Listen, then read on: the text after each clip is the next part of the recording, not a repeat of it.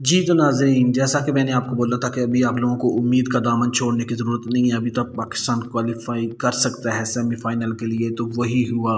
आज south Africa और New Zealand के माबेन मैच था, जो कि साउथ अफ्रीका ने एक बड़े मार्जिन से न्यूजीलैंड को हरा कर टेबल में फ़र्स्ट पोजीशन हासिल कर लिया है। तो अब पाकिस्तान सेमीफाइनल में क्वालिफाई कर सकता है, उसके लिए पाकिस्तान को अपने बकिया दोनों मैचेस जीतने होंगे। अभी देखें तो पॉइंट्स टेबल पर न्यूजीलैंड चौथे नंबर पर है और उसके आठ पॉइंट्स हैं और पाकिस्तान पाँचवें नंबर पर है और उसके छः पॉइंट्स हैं।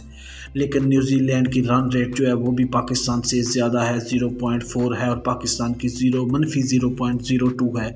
लेकिन पाकिस्तान अगर न्यूजीलैंड को मार्जिन से हरा देता है तो न्यूजीलैंड की रन रेट नीचे आएगी और पाकिस्तान की रन रेट ऊपर जाएगी।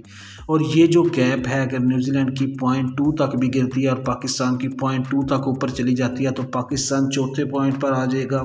और न्यूजीलैंड पाँचवें पॉइंट पर चला जाएगा। उसके बाद पाकिस्तान का आखिरी मैच इंग्लैंड के साथ है, जिसमें पाकिस्तान अपने रन रेट को मज़ीद बेहतर कर सकता है और क्वालिफाई कर कर सकता है। और न्यूजीलैंड का आखिरी मैच श्रीलंका के साथ है। न्यूजीलैंड अगर श्रीलंका वाला मैच हार जाता है तो New Zealand automatically run rate के इशू के बगैर बाहर हो जाएगा और पाकिस्तान क्वालिफाई कर जाएगा। लेकिन अगर न्यूजीलैंड श्रीलंका वाला मैच जीत जाता है तो फिर पाकिस्तान और न्यूजीलैंड के माबेन रन रेट पर जो है वो फैसला होगा। तो पाकिस्तान को चाहिए कि अपने आइंदा दोनों मैचेस में अच्छी रन रेट से मैच जीते ताकि क्वालिफाई कर सके।